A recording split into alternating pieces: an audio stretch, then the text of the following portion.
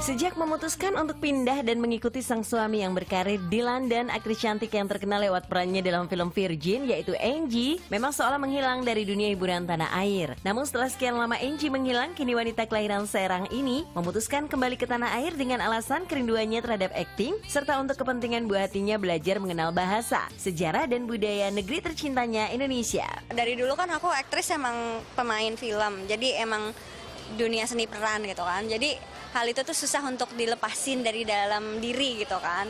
Uh, jadi itu emang aku emang kangen kangen kangen banget gitu kan. Ada alasannya soalnya kan anak aku kan udah mulai gede mau gede. Sedangkan di luar negeri itu susah untuk mereka bisa benar-benar kenal sejarahnya Indonesia, bahasa Indonesianya supaya lebih lancar lagi, lancar bukan untuk hanya ngomong gitu kan, tapi bisa uh, nulis apa segala macam dengan level umurnya dia gitu. Jadi aku pikir sebelum anak aku benar-benar bisa gede, apa maksudnya udah gede dan gede se uh, seumuran terus di luar negeri, aku pengen dia benar-benar bisa belajar dulu di Indonesia supaya kenal sama tanah airnya. Gitu.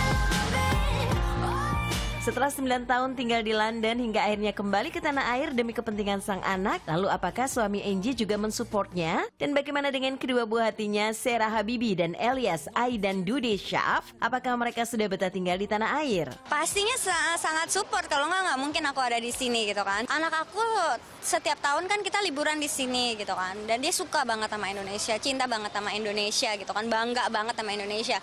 Um, dan dia di sini sih udah betah gitu kan, dan dia seneng soalnya aku aku sih juga yakin kalau anak-anak lebih bahagia di sini. Karena di sana hidupnya terlalu individualis banget terlalu sulit untuk berteman gitu kan main bareng atau apa. Sedangkan di sini kayaknya barusan anak baru tapi semuanya udah welcome gitu kan.